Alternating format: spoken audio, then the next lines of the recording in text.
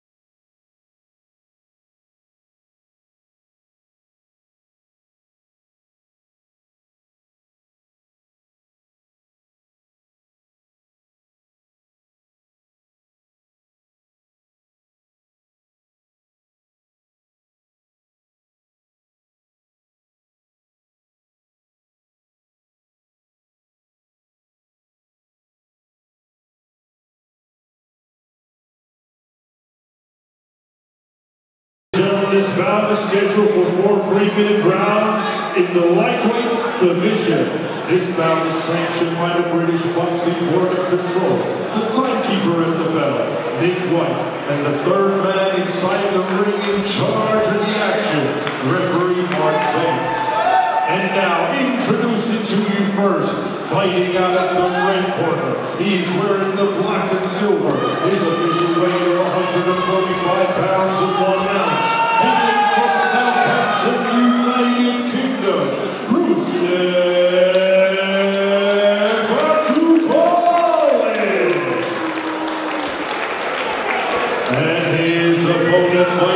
Of the blue corner. He is wearing the white and gray.